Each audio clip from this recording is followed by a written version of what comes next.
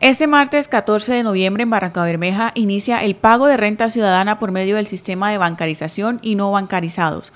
Para llevar a cabo la bancarización y retirar el abono monetario, los ciudadanos deberán abrir una cuenta de ahorros en el Banco Agrario, donde les entregarán una tarjeta de débito para que puedan recibir su dinero y retirarlo cuando deseen. De igual manera, para aquellos usuarios que aún no tienen una cuenta en el banco, a partir de las 8 de la mañana y hasta las 4 de la tarde de este martes, se realizará una jornada de bancarización con el Banco Agrario para hacer entrega de las tarjetas de débito a todas las personas que reciben este incentivo económico. Esta actividad de bancarización se realizará desde el 14 de noviembre hasta el 1 de diciembre. Es importante mencionar que los usuarios deben estar pendientes al teléfono donde les llegará el mensaje de texto que informará dónde debe realizarse el cobro del dinero. Asimismo, tener en cuenta el pico y cédula para los puntos de apuesta a la perla, con el fin de conocer los lugares donde puede recibir este incentivo económico. Durante la semana, el pico y cédula regirá de la siguiente manera.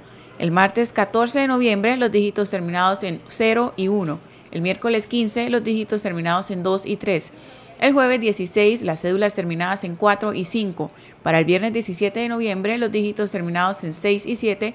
Y el sábado 18, los terminados en 8 y 9. Podrán acercarse a los puntos de apuesta autorizados.